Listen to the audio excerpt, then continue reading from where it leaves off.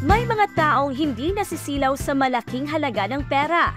Sa halip ay umiira ng pagmamalasakit na maibalik sa kapwa ang napulot na salapi. Sa ipinahaging istorya ng Santo Domingo Municipal Police Station Facebook page, isang Good Samaritan na nakilalang si May Ann Villanos, na residente ng Barangay Calabay sa Santo Domingo, Ilocos Sur, ang nakapulot ng salapi sa loob ng public market na nagkakahalaga ng 31,400 pesos. Dala ng pagmamalasakit sa kapwa, ay agad niya itong dinala sa Municipal Police Station at iniabot sa desk officer na nakaduty sa estasyon. Hindi naman nagtagal ay naibalik ang naiwalang salapi sa may-ari nito na nakilalang si John Carlo Policarpio na nakatira sa Barangay Kakandongan, San Juan, Ilocos Sur.